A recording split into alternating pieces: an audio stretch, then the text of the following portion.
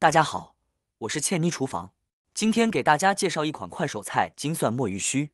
正式开始前，我们先做金蒜。首先将蒜头去蒂，切成厚薄一致的片，放入碗中，用清水清洗一下，去除蒜中的部分大蒜素。大蒜素多的时候，容易粘锅，让蒜片发黑。其实制作金蒜泥或者避风塘系列菜时，也会这样处理的。不过有个小技巧，就是将蒜片放入水中略煮，然后再炸，这样出来的蒜片不发黑，容易变酥。不过缺点是蒜香不足，以后有机会单独展示。通常蒜片可以提前炸好，需要时直接用就可以了。沥干水分的蒜片放在厨房纸上吸干水分，防止油炸时油花四溅。锅上火，倒入清油，冷油将蒜片下锅，将火调小，低温慢炸。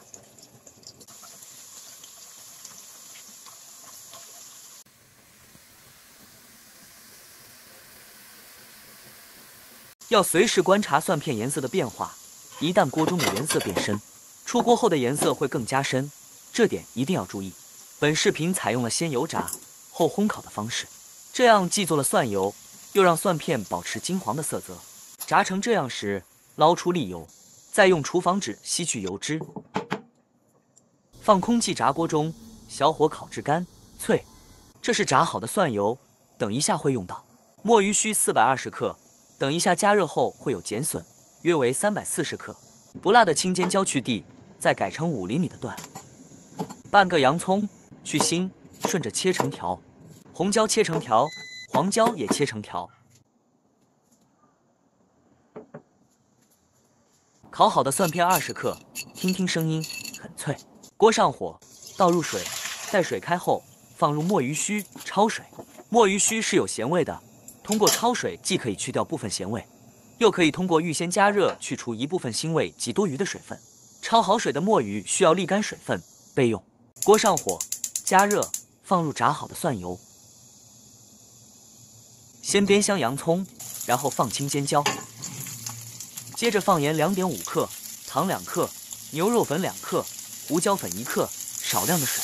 调味后，快速炒熟洋葱和青尖椒，接着放入墨鱼须。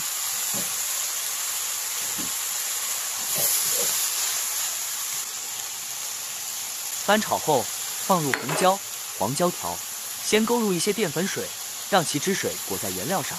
红椒、黄椒本就可以生食，所以最后放，保持其鲜艳的色彩。翻炒后，再淋入一些淀粉，将渗出的汁水包裹在原料上。之所以分次勾芡，是因为墨鱼须容易渗水。通过这样的操作，既保证鱿鱼的嫩度，又让鱿鱼滋有味。菜肴出锅前，撒上炸好的脆蒜片。再淋入少许蒜油，大功告成。快速的欣赏一下装盘后的效果。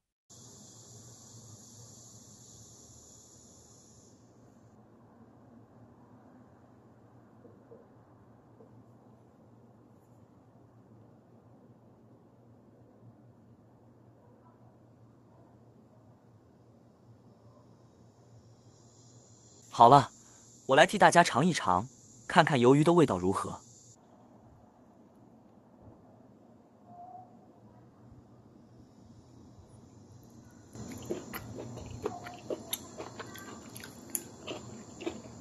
鱿鱼鲜嫩滑爽，蒜香浓郁，推荐大家来试着做一下。